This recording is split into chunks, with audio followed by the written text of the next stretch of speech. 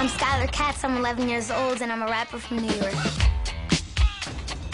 When my parents would drive me and my siblings to school in the morning, they would always listen to like Biggie and stuff. This here's a chant for all the fellas. Try to do what those I'd be like, guys, guys, check this out. And I'd be like, I learned it.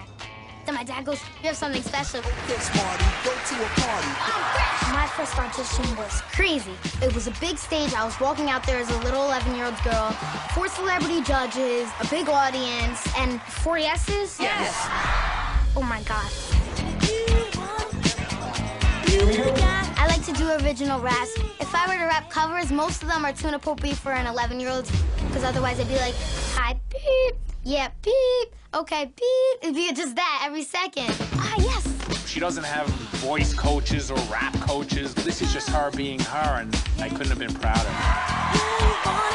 I may only be 11, but I'm 100% ready for this. Oh, I remember this girl. Skylar, I'm so happy to see you again. Who are you here with?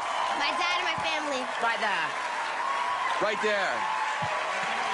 All right, can't wait to see what you're gonna do. Go ahead. All right, DJ, let's do this. Let's do this, DJ. Yes, yes, y'all. Who the best, y'all? Anytime, or place, I get a wreck, y'all. I'll be counting ones on eight. And my Instagram got likes. And my Snapchat chat make them clap, clap, clap when I rap, rap, rap like that. Sheesh. Move your whole town.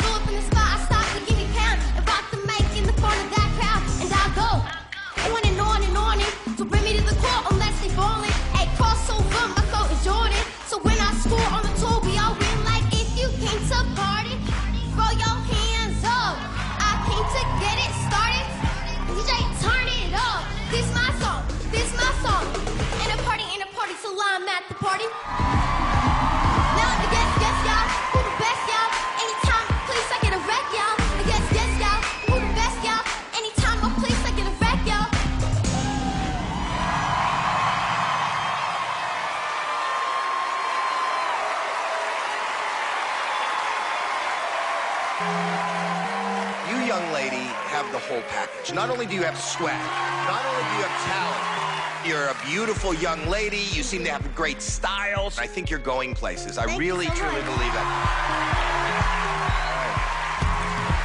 What do your friends think about all this? They love it. I rap for them whenever I can, and they love my swag.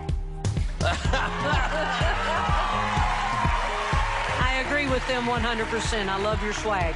Thank you. Now, if you remember last time, I did say to you, you have to be careful because you get a little bit out I, of I was breath. working on it. Is, it. is it better this time? You did work on it, but I would have just loved it if you just to let go a little bit more because you've got everything else going for you. Okay, thank you. I respect that. Thank you. Uh, Skylar, look, I think you are the coolest 11-year-old in the world, actually. I think that you are made for this competition. Thank you. You've now made our day really miserable because only seven of you can go through. Thank you so much.